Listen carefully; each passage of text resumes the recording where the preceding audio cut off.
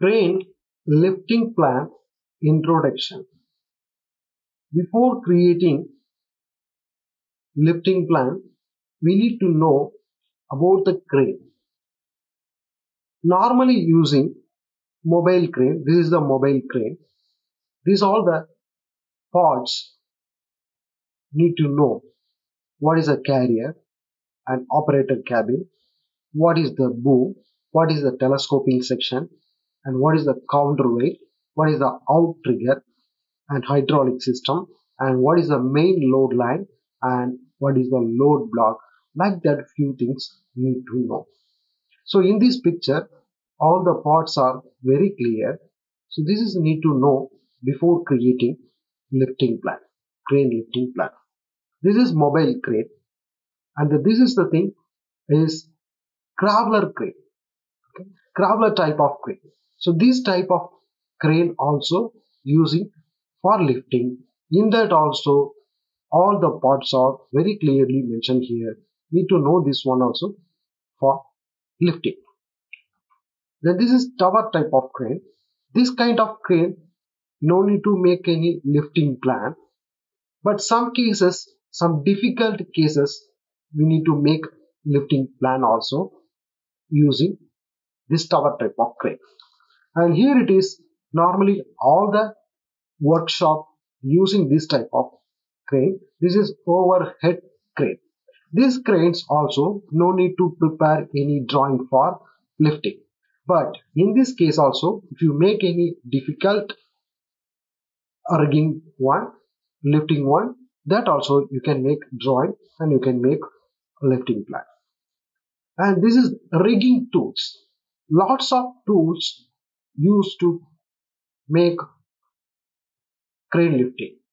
But normally commonly using tools only I given here. I, eye hook, soil hook and clean hook and D shackle normally using, bow shackle always using and like that few rigging tools I given and wire rope sling always using that one and beam clamp you are lifting beam or plate and you can use this type of clamps. And lifting beam and spreader beam.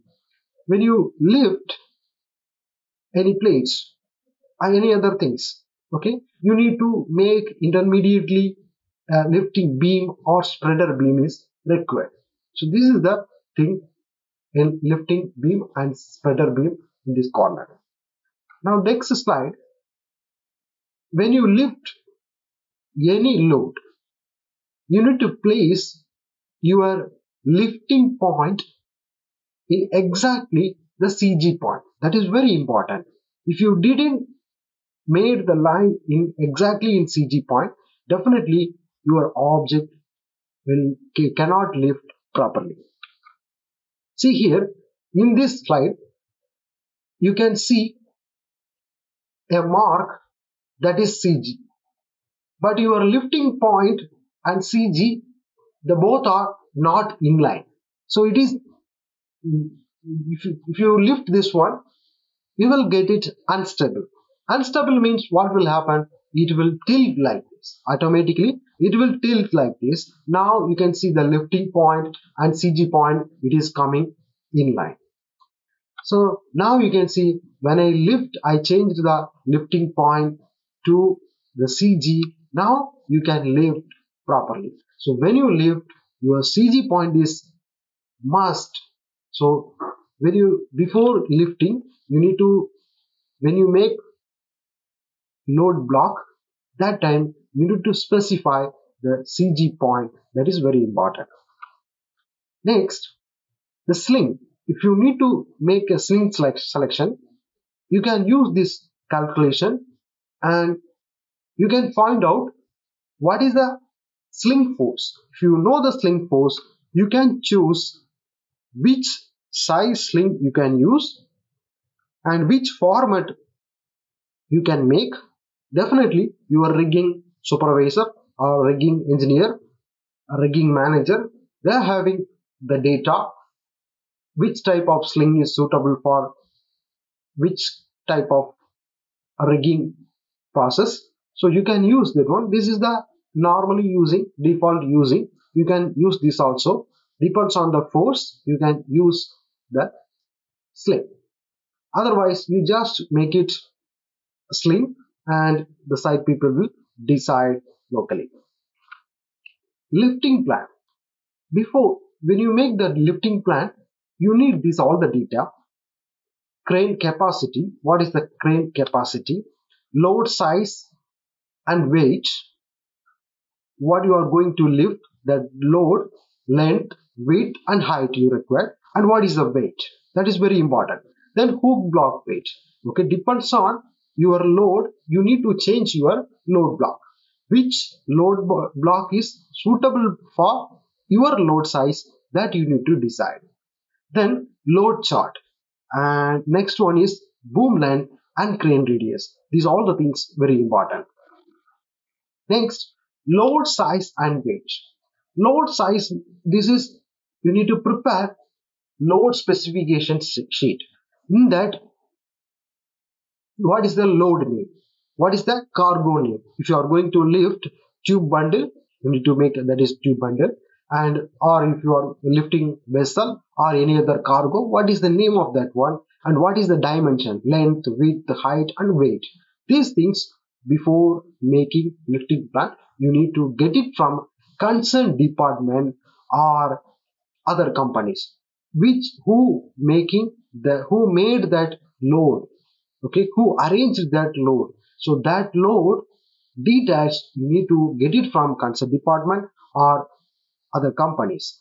Also you need to get it the drawing also. So you can prepare that load block very easily hook block weight. Hook block weight lots of companies using various hook blocks. You can get it from hook block manufacturer data. So what is the exact hook block and what is the capacity and what is the weight of that hook block and what is the material and the drawing everything you, you can get it from hook block manufacturer but this or you can search in google also you will get it some blocks. That blocks also you can use it locally. Or if you need exactly if you need you can contact the block manufacturer data. You will get it the all the information. Load chart. What uh, what we need to do it in load chart. Load chart from load chart we need to get it the boom length and safe working load. Crane radius we need to decide depends upon our site location once you decide the crane radius so using this crane radius we can take boom length and safe working load in load chart. Now you can see here main boom length. This is the main boom length and the radius lifting height and outrigger base. Everything you can see here. And this is load chart example load chart. In this load chart you can see uh, left side 16 meter. You can see 16 meter. That is radius crane radius. And if you go to the top that is boom length. Okay? So exactly you take 16 meter and if you go to the uh, 44 meter boom length you will get it 16.6 that is safe working load. Inside that value are safe working load. Now i just go to the next slide. Uh, this is also load chart. In that also you will get it the boom length and the radius and the uh, boom height everything. You can get it in this load chart also. Clearly i mentioned here uh, i show here. You can see if you go to the boom length 44 and if you go down you come down and 16 you can see. Uh, go up uh, you can see the safe working load inside the arrows and all the points are showing that is safe working load now crane capacity. Percentage of capacity or crane capacity usage. So this is the formula. What is the hook block and material weight? You can use sling and all the weight also you can use or you can consider hook block weight. All the together we can consider hook block weight. It is the maximum. So then divide by safe working load. Safe working load, we need to get it from the load chart. okay crane data load chart okay then uh, here you can see I made a um, data crane capacity uh, when I need to calculate I just made boom length 44.5 if you go here uh, the boom length is coming top that is 44.5 I selected it is coming top you can see and the next slide um, this is crane radius 16 if you go to this one you can see here 16 the left side it is coming 16 go near to the 16 and match with the 44.5 meter you will get it 16.66 okay so 16.66 and the weight of load is 7 ton I consider. Hook block weight is 2 ton. So I am using here crane LTM 1150 slash 1 so this is the Liebherr company and this is mobile crane okay? So if I use this crane and this data safe working load is 16.6 ton from load chart. So if I use that one and I need to calculate using this formula crane percentage of capacity 2 plus 7 divide 16.6 into 100 I will get for 54.2 percentage. So crane capacity percentage of capacity should not exceed 80 percentage. Below 80 percentage crane capacity is safe. If it is increased more than 80 percentage, definitely uh, you cannot lift. If you lift also, you maybe you will get some difficulties when you lifting time. Because when you lift, you will get it lot of factors atmosphere uh, temperature and air like that lot of factor will affect your crane. So before below 80 percentage if you uh, keep the percentage of capacity you never get any accident. So this is I get it 54.2 percentage. So I am using the crane capacity only 54 percentage. So I have around 45 46 percentage I have.